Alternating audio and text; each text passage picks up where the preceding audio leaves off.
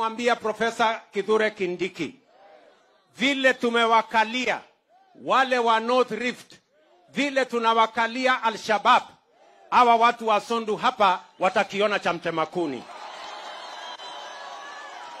Hatutaki, sikizeni, hatutaki mambo ya ujinga ya ukabila. Sisi tunaishi Kenya moja, na serikali ya Kenya ni serikali ya kila Mkenya.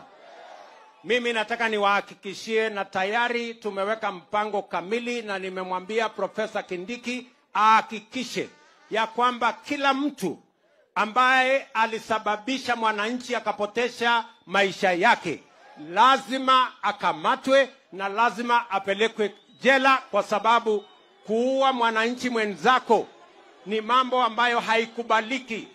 Eh, wanaweza kwenda hiyo safari ya tatu ile ya kwenda huko, lakini watapitia kotini kwanza, si namna hiyo? Tunaelewana? Lakini pia pale Sondu lazima pia tujenge ile damu ambayo tulikubaliana